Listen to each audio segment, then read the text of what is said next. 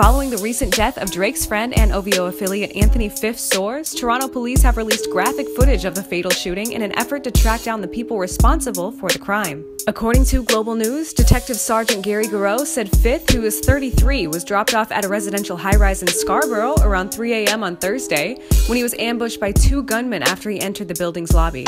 Be warned, the footage about to be displayed is disturbing. Viewer discretion advised. Police released surveillance video showing Anthony Suarez being shot and killed by two men walking past his apartment building in Toronto last week.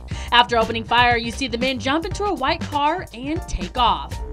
The security video of the shooting shows the two suspects exiting a white Ford Fusion and running toward Fif before firing several rounds through the glass. The deceased is trapped between the inner foyer area and the offenders, who were on the opposite side of the glass, Giroux told reporters at a press conference Tuesday morning. The deceased falls to the floor of the foyer. The suspects continue to fire at the deceased while he's lying on the floor.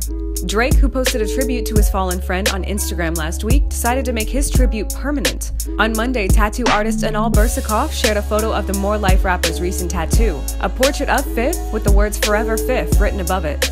The investigation is ongoing. Contact police at 416 808 7400 or Crime Stoppers anonymously at 416 222 TIPS with any information.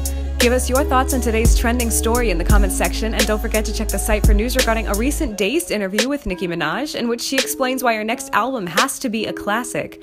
Please subscribe to our YouTube page, and for more music and news, hit us up at hiphopdx.com.